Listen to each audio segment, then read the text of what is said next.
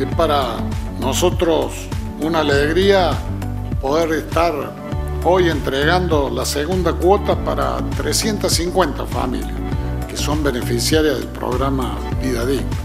Y en Córdoba este gobierno hace las cosas de manera transparente y ustedes no le deben un favor a nadie con este programa. Para mí también es clave de que cerremos el circuito.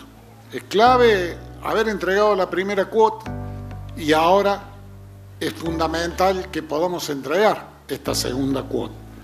Y esta segunda cuota se da también en un contexto de aceleración de la inflación. Esta inflación que nos viene trayendo muy mal a los argentinos. Por nuevo programa que lanzamos esta semana, donde hay apoyo desde los comedores y merenderos hasta los centros de jubilados o a las organizaciones que cuidan a las personas y familias con discapacidad. Y hubo también aumento en las cuotas de los programas sociales que tiene en marcha la provincia.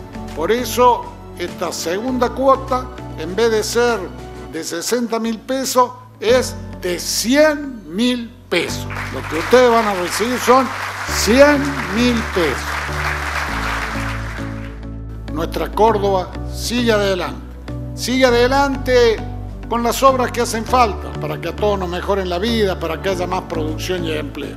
Sigue adelante con el apoyo a los emprendedores que quieren hacer algo nuevo, como venimos haciendo estos días.